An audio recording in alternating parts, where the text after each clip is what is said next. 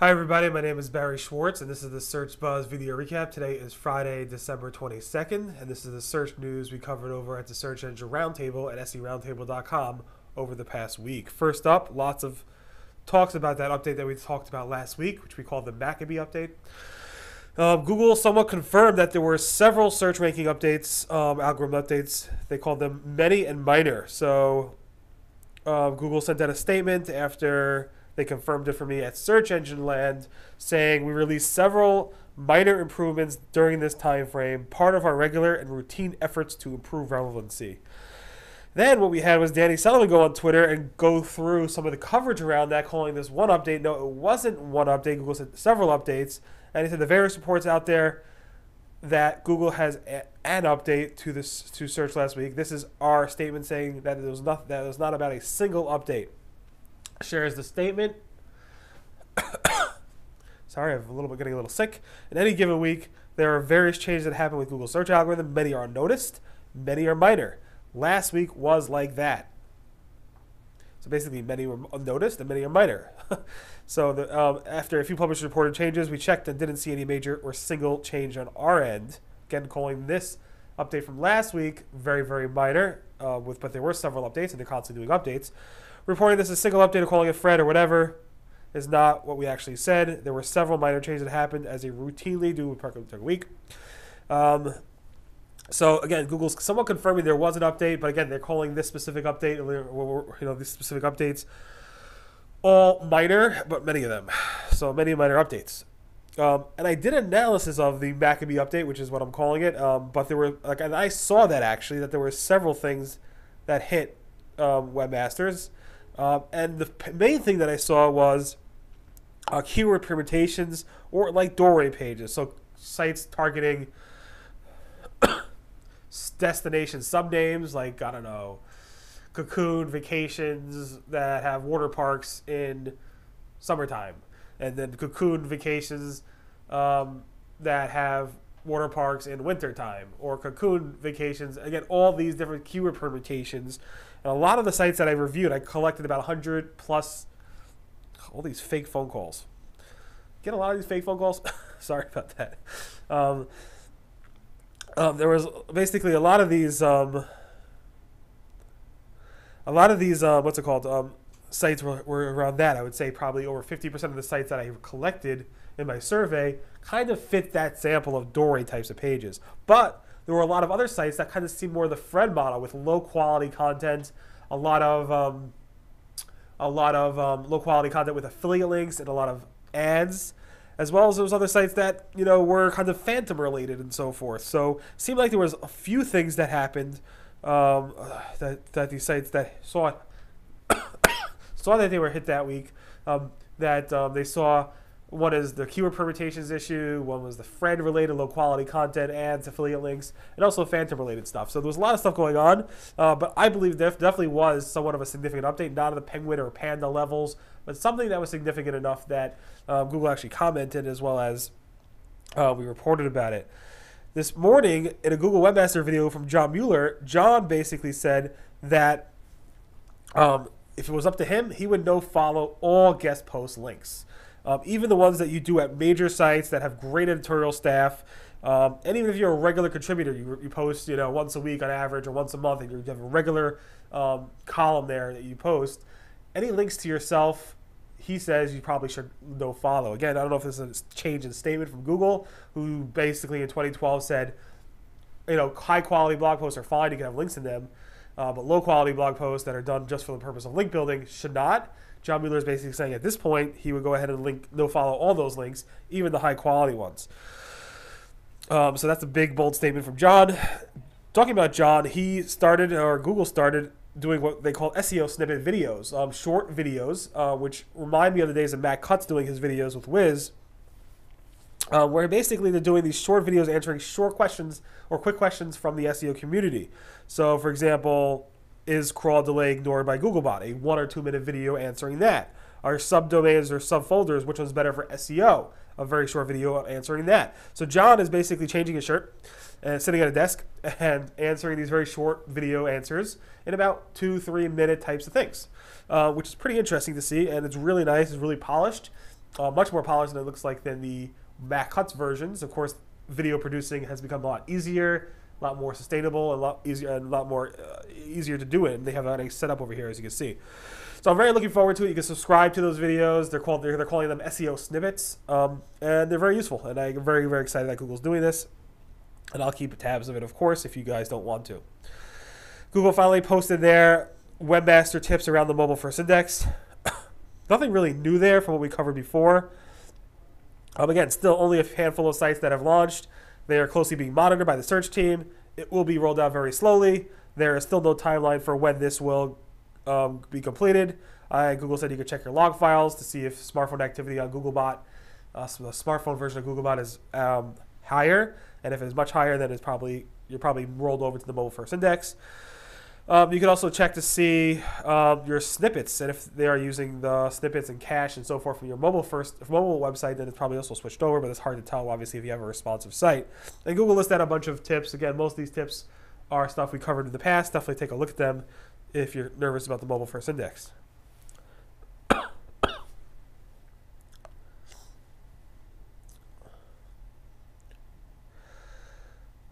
Um, Google has now done two things around rich snippets.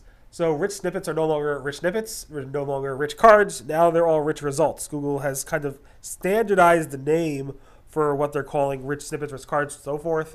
Rich results, they're all being called now rich results, which is great. They hated the confusion around what you call them. So now they're all called rich results. And also Google released a new, I guess, rich results testing tool um, that supports JSON, LD, microdata, RDFA.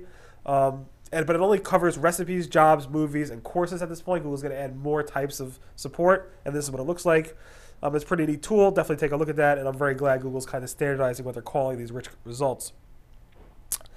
Google's John Mueller posted the thing about uh, slashes and trailing slashes and how it impacts SEO, but it really doesn't really impact SEO. Really, is how web servers handle um, handle these slashes, and he basically did this grid here. So A equals B, C equals D in these examples. A is not C, A is not C, C is not E. Okay, you got that? And trailing slash in the path file doesn't matter. So F is not G. Again, take a look at this. This is not really an SEO thing. It's more about how web servers handle this. Um, it's not a duplicate content thing. Again, it's about how web servers handle this type of stuff. So definitely take a look at that. Uh, there was a bug with search analytics this week. Um, on the time frame of I think December 14th through December 18th, where if you filter down the search analytics report specifically for non um, for AMP that has non-rich results, you'll see a decline in, in information. Google has some data issues. Um, it should go bounce back after the 18th, so hopefully you, you won't um, be missing a lot of that data. But again, AMP results with non-rich results had an issue with search analytics reports.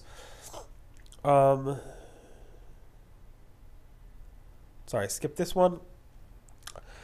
Google said um, they didn't find a uh, benefit or being that useful from crawling outside of the U.S. So crawling from the EU, like or London, or from Israel, or from Germany, or for from Canada, didn't really give them any benefit or useful benefit from crawling outside of the U.S. So Googlebot usually crawls from you know Mountain View, California, in the U.S. Um, so they've told us in the past, I think back in 2015, that they do offer the option of crawling within a specific locale. So Canada, UK, China, etc. And Google said they're, they didn't find that, that useful. They do find it useful for places like North Korea, which kind of block content and stuff like that. China that block content, and they still do that for those regions, so they can figure out what's um, blocked and what's not. Um, so um, it's very interesting to see that, but at the same time, Google say for the most part they probably stopped doing that. Um, it's no longer that valuable, um, and they are no longer crawling from specific outside regions, except for certain locations uh, that there's an issue. Uh, Google said progressive web apps, PWAs, do not have an advantage in search. In fact, they might have a disadvantage because they're harder for Google to index. So somebody's been promoting that you should go PWAs because Google loves PWAs and thus Google loves PWAs. They have a ranking benefit in Google search. That is not true. John Mueller said no, it is not true. PWAs do not currently um, have a ranking benefit in Google. J- John Mueller also said that Googlebot um, does need backwards capability for supporting IP version 6 and HTTP 2. Um, it, it, you need to also support the IPv4 version 4 as well as HTTP 1 uh, because Googlebots uh, kind of needs that. And most of these setups do support the backwards capability or compatibility on that front anyway. Google has finally published their new SEO starter guide, um, but as I discussed last week, but it's missing content around speed, page speed, and HTTPS. It does mention it slightly, but there's no categories just for page speed or just for HTTPS, uh, which makes people wonder how important those are. And again, over the years, Google has said they are less and less important. Google is testing again the favicons in the search result snippets, something we saw in the past as well. Um, here's a screenshot. You can see the little favicons here. Whoa.